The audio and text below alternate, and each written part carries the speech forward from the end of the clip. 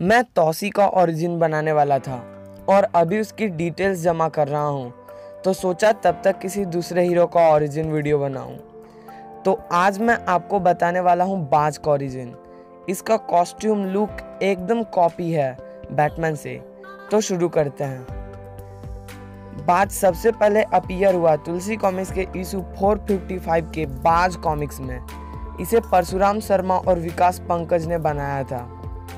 कहानी शुरू होती है एक खतरनाक हत्यारे देव से, जो कि जेल से भाग जाता है और एक हाईवे पर पहुंचकर एक कार को छीनकर भाग रहा था। और उसके कुछ दूर बढ़ने पर ही कुछ लोग जो हरे रंग के जिस्म वाले थे, उन्होंने देव को राजकुमार कहकर संबोधित किया। वो अभी सोच ही रहा था कि उन्होंने उसे बाज क्यों कहा, तभी उन लोगों ने उसे पकड़ना चाहा।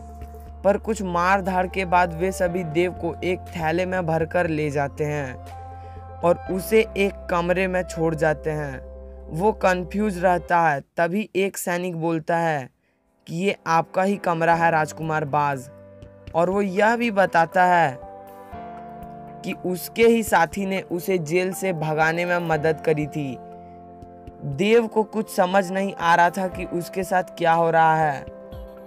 अगर आपको भी कुछ समझ नहीं आ रहा तो बता दूँ कि देव अभी जिस जगह था, वो एक देश था, जहाँ प्रेत, जिन, भूत और देव जाति के प्रेत रहते थे।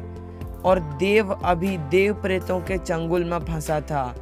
इधर क्वीन और किंग खुश हो रहे थे बिकॉज़ उनका बेटा जो वापस आ गया था। थोड़ी देर बाद महागुरु सैदान, जो कि उन देव प्रेतों के महागुरु थे, देव को लेसन के लिए बुलाते हैं। जहाँ सैदान देव को बहुत पीटता है। कई स्किल्स पूछता है, जो वह नहीं कर पाता, क्योंकि यह बाज था ही नहीं, और कोई उसकी बात भी नहीं मान रहा था। उसने अपनी याददाश्त जाने का नाटक किया, और फिर गुरु सैदान ने उसे शुरू से ट्रेनिंग दी, और उसे एक सूट भी दिया, जिसमें अगर दो कान और सीने पर बैटमैन का लोगो ऐड कर दिया जाए तो वो पक्का बैटमैन बन जाएगा।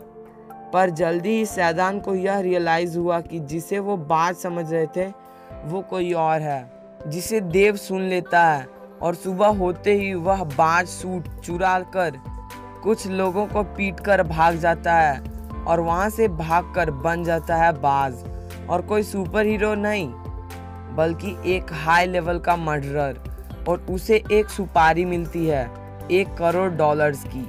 जहाँ उसे एक ऐसे आदमी को मारना था जो कि एक खुफिया ऑर्गेनाइजेशन का मेंबर था, जिसका नाम था ईगल इंटरनेशनल। उसको सुपारी सुप्रीमो नाम का आदमी देता है।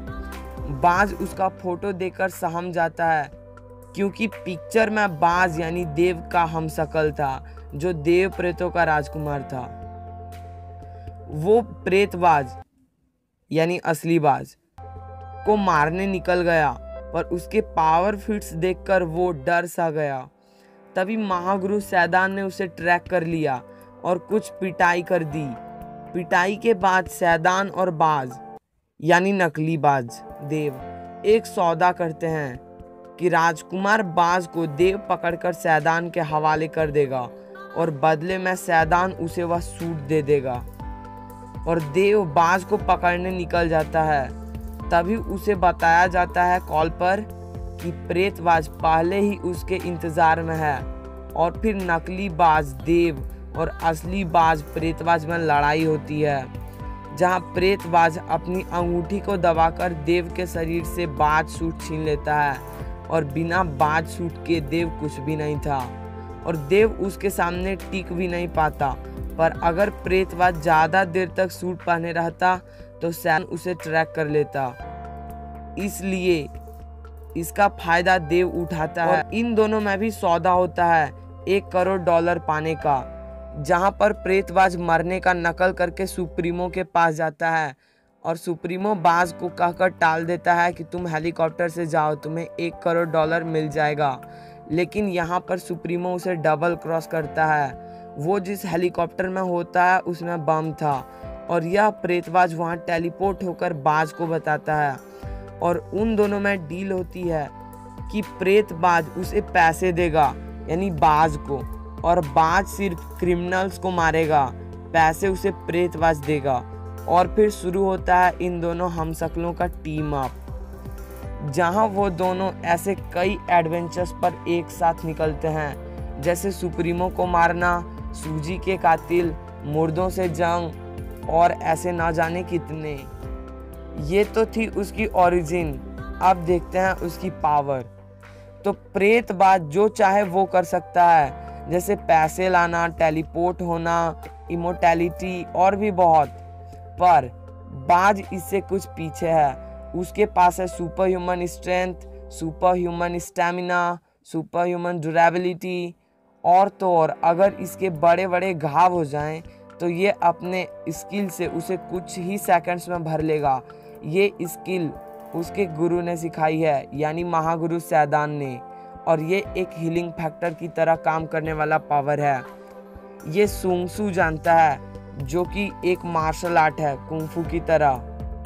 ये अपने ऊपर फेंकी गई चीज़ों को रिफ्लेक्ट कर सकता है अपने सूट की मदद से, जैसे बुलेट्स वगैरह वगैरह।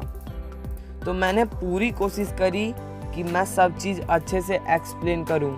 फिर भी अगर मैंने कुछ मिस कर दी हैं तो कमेंट में ज़रूर बताना। So thank you bye